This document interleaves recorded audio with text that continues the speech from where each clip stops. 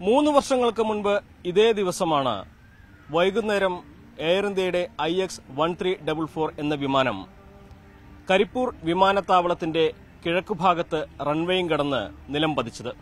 ഇതാ എനിക്ക് പിന്നിൽ കാണുന്ന ഇവിടെ. ദുരന്തത്തിൽ ഇരുപത്തൊന്ന് പേർക്ക് ജീവൻ നഷ്ടമായി. ഒട്ടേറെ പേർക്ക് പരിക്കേറ്റു. പക്ഷേ ഈയൊരു മരണസംഖ്യ ഇരുപത്തിയൊന്നിൽ ഒതുക്കി നിർത്തിയത് ഈ നാട്ടുകാരാണ്. കോവിഡിന്റെ നിയന്ത്രണങ്ങളും ചട്ടങ്ങളുമൊന്നും ശ്രദ്ധിക്കാതെ സ്വന്തം ജീവൻ പോലും അവഗണിച്ച് ഇവർ രക്ഷാപ്രവർത്തനത്തിനിറങ്ങി. രക്ഷാപ്രവർത്തനത്തിലെ കരിപ്പൂർ മാതൃക ലോകം മുഴുവൻ പ്രശംസിച്ചു. മൂന്ന് വർഷത്തിനിപ്പുറം ഈ ദിവസം എത്തുമ്പോൾ കരിപ്പൂർ നിവാസികൾ നേരിടുന്നത് മറ്റൊരു കാര്യമാണ് അല്ലെങ്കിൽ മറ്റൊരു പ്രതിസന്ധിയാണ്. വിമാനത്താവള വികസനത്തിനു വേണ്ടി സ്വന്തം വീടും സ്ഥലവും വിട്ടുകൊടുക്കാൻ നിർബന്ധിതരാവുകയാണ് ഇവർ.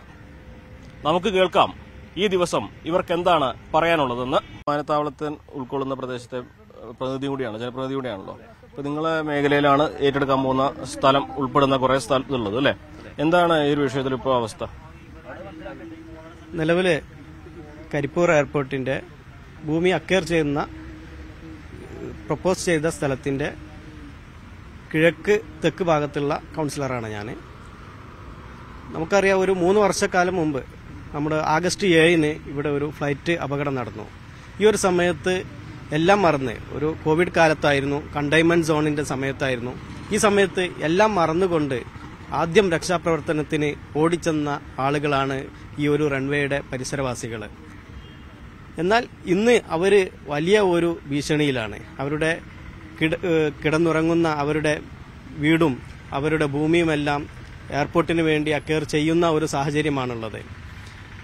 ഒരു വികസന കാര്യത്തിനാണ് എന്നുള്ള നിലയ്ക്ക് ഈ പ്രദേശത്തുകാരെല്ലാം ഈ ഒരു ഭൂ വികസനവുമായി അനുകൂലിക്കുന്നുണ്ടെങ്കിലും എന്നാൽ ഇന്ന് നമുക്ക് സർക്കാർ പറഞ്ഞിട്ടുള്ള ഒരു ഭൂമിയുടെ ഒരു വില അത് ഒരു ന്യായമായ രീതിയിൽ എത്തിയിട്ടില്ല എന്നുള്ളതാണ് പ്രദേശവാസികൾ പറയുന്നത്. കഴിഞ്ഞ ആഴ്ച സർക്കാർ ഏറ്റവും മികച്ച പാക്കേജ് വീടുകൾക്ക് വേണ്ടി പ്രഖ്യാപിച്ചു. സർക്കാർ എങ്ങനെയും ഈ ഒരു കരിപ്പൂർ എയർപോർട്ടിന്റെ ചിറകരായി അരിയാൻ സമ്മതിക്കില്ല എന്നുള്ള രീതിയിൽ തന്നെയാണ് എങ്ങനെയും വികസനം നടക്കണം എന്നുള്ള നിലക്കാണ് കഴിഞ്ഞ ദിവസവും മിനിസ്റ്റർ അദ്ദേഹത്തിന്റെ മീറ്റിംഗിൽ വളരെ പോസിറ്റീവായിട്ടാണ് കരിപ്പൂർ വികസനവുമായി ബന്ധപ്പെട്ട് പറഞ്ഞിട്ടുള്ളത്. എന്തായാലും റൺവേ വികസനം നടക്കണം അത് ആവശ്യമാണ്. അതോടൊപ്പം പ്രദേശവാസികളുടെ ആശങ്കകൾക്ക് ഒരു പരിഹാരം വേണം. ഇവിടെ എസ് ഐ എസ് സ്റ്റഡി കഴിഞ്ഞു.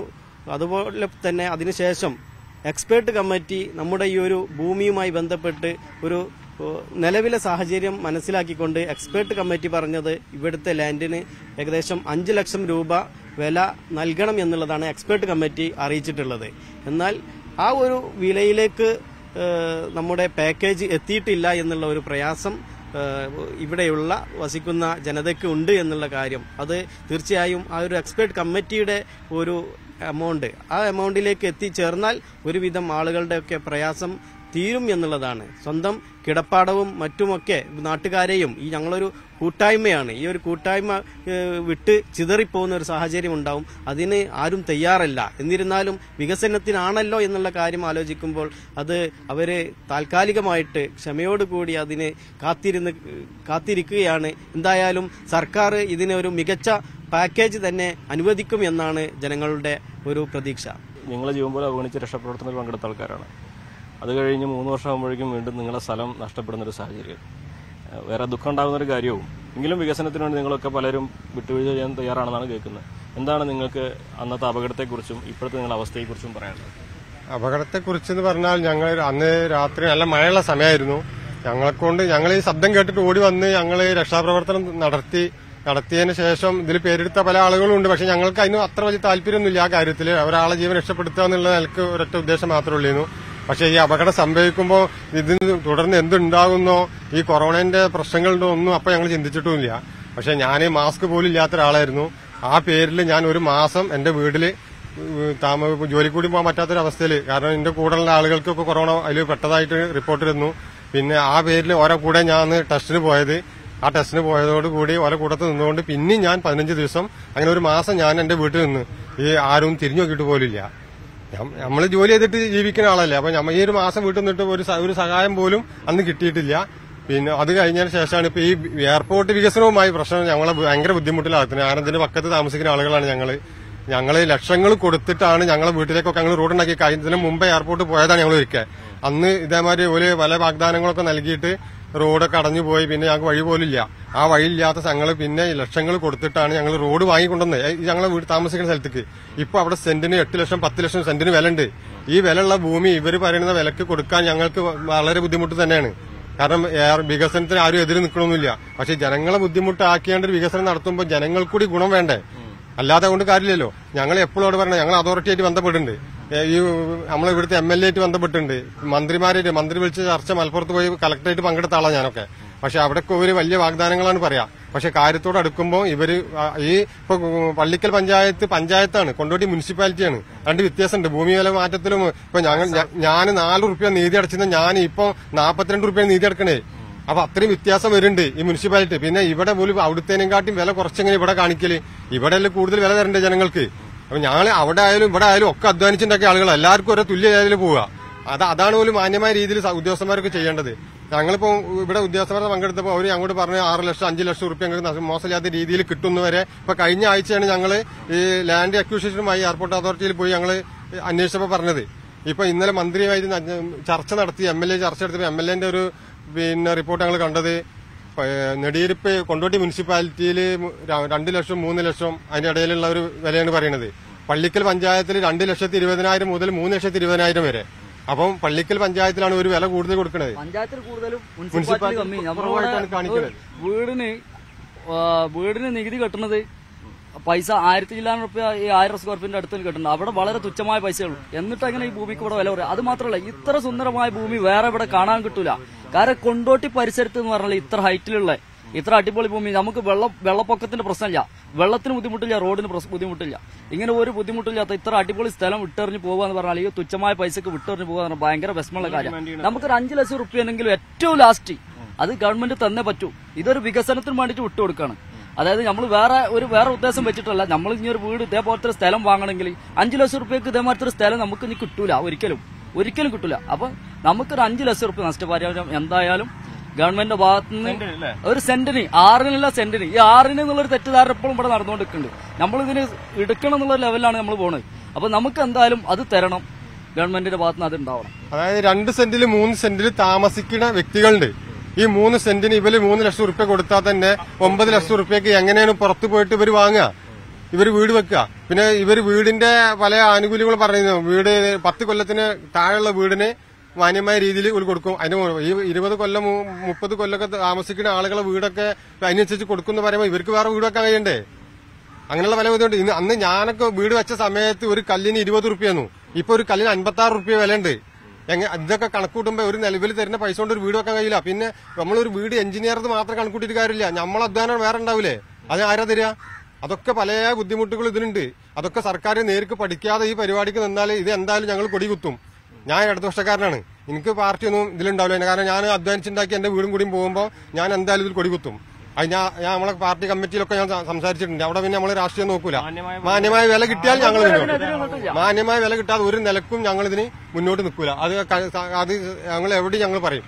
ഞങ്ങൾ ഈ സമരസമിതിയിലൊക്കെ വികസനം. വരുന്ന പറ്റൂ. പക്ഷെ മാന്യമായിട്ട് നമ്മളെ പിരിച്ചുവിടണം. അതാണ് നമ്മളെ ആവശ്യം. ഒരിക്കലും ഇങ്ങനെ പോകാൻ നമുക്ക് താല്പര്യമില്ല.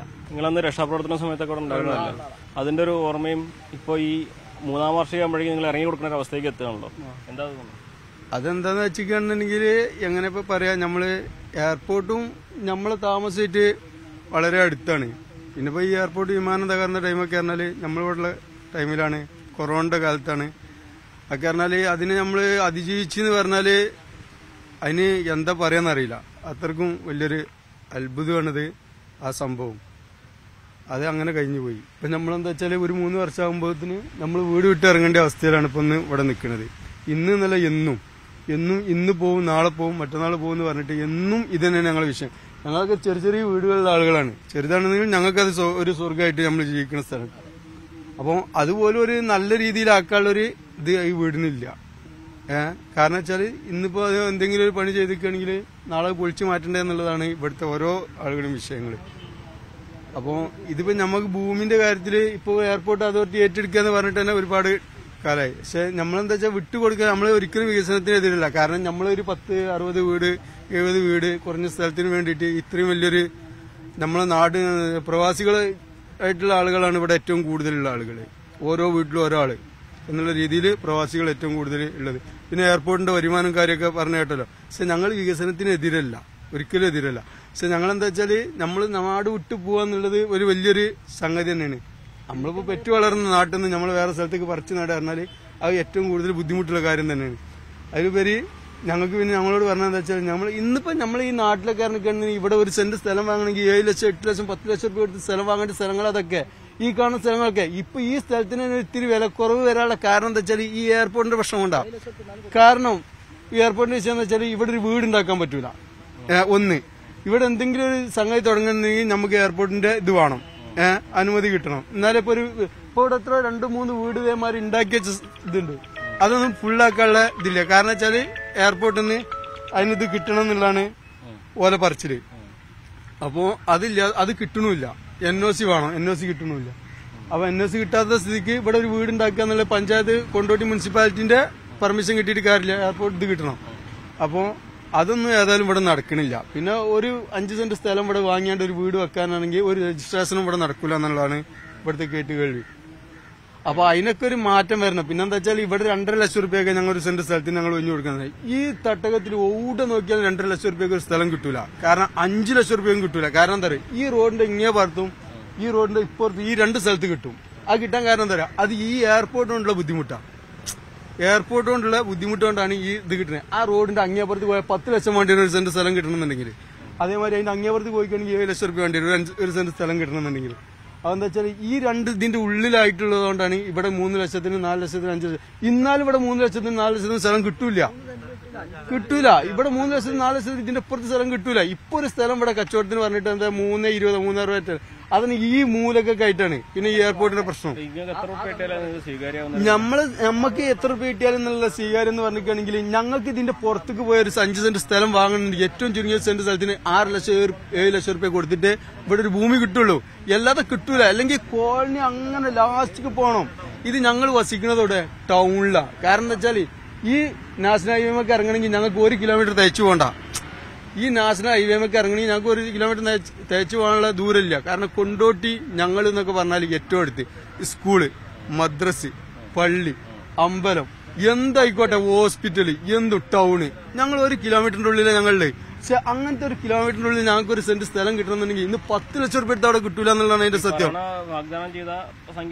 അത് ഒരിക്കലും നടക്കില്ല കാരണം രണ്ടര ലക്ഷം റുപ്യക്ക് ഒരു സെന്റ് സ്ഥലം ഇവിടെ വാങ്ങിത്തരാൻ ഓൽ തയ്യാറായിട്ടെന്നാൽ കഴിയൂല. ആർക്കും കിട്ടൂല. കാരണം വെച്ചാൽ ഞാൻ പറഞ്ഞേ ഇപ്പൊ ഈ സ്ഥലം എയർപോർട്ടിൽ പോവാണ്.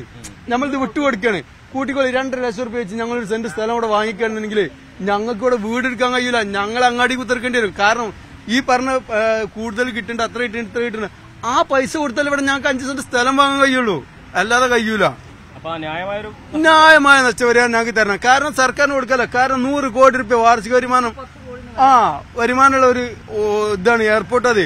കാരണം എയർപോർട്ട് ഒരിക്കലും നശിച്ചു പോകണം നമുക്ക് ഇഷ്ടമില്ല. കാരണം ഞങ്ങളെ മുൻകാല ആളുകൾ അത്രയും കഠിനാധ്വാനത്തിന്റെ ഫലമായിട്ടുണ്ടായതാണ് ഈ എയർപോർട്ട്. എത്രയോ സ്ഥലങ്ങളിൽ വരാൻ നിന്ന എയർപോർട്ടാണ് ഓടിയും കിട്ടിയില്ല. എന്നിട്ടാണ് മലപ്പുറത്ത് കാലിക്കറ്റിന്റെ പേരിട്ടാണ്ട് ഈ എയർപോർട്ട് നിൽക്കുന്നത്. മലപ്പുറത്ത് കാലിക്കറ്റിന്റെ പേരിട്ടിട്ട് ഈ എയർപോർട്ട് നിൽക്കണേ നേരിക്ക് ഈ എയർപോർട്ടിന്റെ പേരിന് മാറ്റണം എന്നാ. കാരണം ഇത് കാലിക്കറ്റിന് കൊടുക്കാൻ പാടില്ല ഈ ഈ എയർപോർട്ടിന്റെ നാമം. കാരണം എന്താ വെച്ചാൽ ഇത് ഒരിക്കലും ഒരു അവകാശപ്പെട്ടല്ല ഇത് ഞങ്ങൾക്ക് അവകാശപ്പെട്ട പേരാണ്. മലപ്പുറത്തിന്റെ പേരിലാക്കണം ഈ കരിപ്പൂർ എയർപോർട്ട് ഒന്നും കൂടി നമ്മൾ പറയാം. ഇന്നിപ്പോ ആ രക്ഷാപ്രവർത്തനം ഇറങ്ങിയവർക്ക് തന്നെ സ്വന്തം വീട്ടിൽ നിന്ന് ഇറങ്ങി കൊടുക്കേണ്ട അവസ്ഥ വികസനത്തിന്റെ പേരിൽ എങ്ങനെയാണ് ഈ സാഹചര്യത്തെ കാണുന്നത്? ഇന്നലെ ബഹുമാനപ്പെട്ട മിനിസ്റ്റർ വിളിച്ചു ചേർത്ത യോഗത്തിൽ പങ്കെടുത്തിരുന്നു. അപ്പോഴാണ് കൃത്യമായി ഭൂമി ഏറ്റെടുക്കുന്ന ഭൂമിയുടെ വിലയും കെട്ട് വീടുകൾക്കുള്ള വിലയും കുറിച്ച് ബഹുമാനായ മന്ത്രി ഞങ്ങളോട് പ്രദേശവാസികൾ എന്നുള്ള നിലക്കും അവിടുത്തെ ഒരു ജനപ്രതിനിധി എന്നുള്ള നിലക്കും ഔദ്യോഗികമായിട്ട് ഇന്നലെയാണ് കാര്യങ്ങൾ വിശദീകരിച്ചത്. അതിന്റെ അടിസ്ഥാനത്തിൽ പ്രദേശത്ത് ഒരു രണ്ടര ലക്ഷം അല്ലെങ്കിൽ രണ്ടേ മുക്കാൽ ലക്ഷം രൂപയാണ് ലഭ്യമാകുക അവരെ സംബന്ധിച്ച് വേറൊരു സ്ഥലം ഇന്നത്തെ സാഹചര്യത്തിൽ ആ വിലക്ക് വാങ്ങി വീട് വെക്കാൻ വളരെയധികം പ്രയാസപ്പെടും. ആയതുകൊണ്ട് ആ വില പോരാ എന്നുള്ള കാര്യം ഞങ്ങൾ കൃത്യമായി അവതരിപ്പിച്ചിട്ടുണ്ട്. അതിന്റെ അടിസ്ഥാനത്തിൽ തിങ്കൾ ബുധൻ ദിവസങ്ങളിൽ പള്ളിക്കലും നെടിയിരിപ്പ് വില്ലേജുകളിലും സർവേ നടത്തും എന്ന് പറഞ്ഞ് പറഞ്ഞിട്ടുമുണ്ട്. ആ സർവേ നടത്തുന്നതിന് മുമ്പ് ബന്ധപ്പെട്ട ഉദ്യോഗസ്ഥർ ഈ വീട് അതുപോലെ തന്നെ ഭൂമി പോകുന്ന ആളുകളുമായി വിഷയങ്ങൾ അവതരിപ്പിക്കണം എന്ന് ഞങ്ങൾ സൂചിപ്പിച്ചിട്ടുണ്ട്. ഞങ്ങളെ സംബന്ധിച്ചിടത്തോളം കഴിഞ്ഞ രണ്ട് വർഷം മുമ്പ് നടന്ന വിമാന അപകടത്തിൽ രക്ഷാപ്രവർത്തനം നടത്തിയ എന്റെ വാർഡിലെ മുപ്പതാം വാർഡിലെ അതിലെ ഏറ്റവും പ്രധാനപ്പെട്ട ആദ്യം ഓടിയെത്തിയ ആളുകളാണ് ഈ ഇപ്പോഴത്തെ കുടിവയ്പ്പിക്കലുമായി ബന്ധപ്പെട്ട് അവിടുന്ന് പോവേണ്ട അവസ്ഥ വന്നിട്ടുള്ളത്. അവരെ സംബന്ധിച്ചിടത്തോളം ഈയിടെയായിട്ട് പല കോണുകളിൽ നിന്നും ഈ ഭൂമി ഏറ്റെടുക്കലുമായി ബന്ധപ്പെട്ട് പല രീതിയിലുള്ള ആരോപണങ്ങളും കേൾക്കേണ്ടി വന്ന ഒരു പ്രദേശത്തുകാരാണ് ഞങ്ങൾ. ഞങ്ങളെ സംബന്ധിച്ച് അവിടുത്തെ വീട്ടുകാരെ സംബന്ധിച്ച് ഈ കുറച്ച് കാലങ്ങളായി അവർ അതിജീവനത്തിന്റെ പാതയിലാണ്. കാരണം ജനിച്ച നാട് പിറന്ന മണ്ണ് വീട് അവിടുന്ന് വിട്ടുപോവുക എന്ന് പറയുന്നത് ഏത് മനുഷ്യനും വളരെ പ്രയാസം ഉണ്ടാക്കുന്ന കാര്യമാണ്. ആയതുകൊണ്ട് അതിന്റെ സമരത്തിന്റെ അവസാന ഘട്ടം വരെ ഞങ്ങൾ ഈ പോരാട്ടം നടത്തിയിട്ടുണ്ട്. ഞങ്ങൾക്ക് മാന്യമായ അവിടുത്തെ പ്രദേശത്തുകാർക്ക് എയർപോർട്ടിന്റെ വികസനം നമ്മളെല്ലാവരെയും ആവശ്യമാണ്. എന്നാൽ കുടിയൊഴിപ്പിക്കപ്പെടുന്നവർക്ക് മാന്യമായ പരിഗണന കൊടുക്കണം അത് അവർക്ക് ലഭ്യമാകണം എന്നുള്ളതാണ് ഞങ്ങൾക്ക് ഈ അവസരത്തിൽ പറയാനുള്ളത്. കരിപ്പൂർ വിമാനത്താവളത്തിന്റെ വികസനത്തിനു വേണ്ടി സ്വന്തം കിടപ്പാടം നൽകാൻ ഇവർക്കാർക്കും മടിയില്ല. പക്ഷേ അർഹിക്കുന്ന വില ലഭിക്കണം. കാരണം പുതിയൊരിടത്ത് പോയി പുതിയൊരു ജീവിതം കെട്ടിപ്പടുക്കാൻ ഇവർക്ക് ഈ തുക അനിവാര്യമാണ്. ലോകം മുഴുവൻ ആദരിച്ച ലോകം മുഴുവൻ പ്രശംസിച്ച വിമാന ദുരന്തത്തിന്റെ രക്ഷാപ്രവർത്തകർക്ക് ഇതാണ് പറയാനുള്ളത്. സർക്കാർ ഇവർക്ക് പറയാനുള്ളത് കേൾക്കും എന്ന് തന്നെ പ്രതീക്ഷിക്കാം.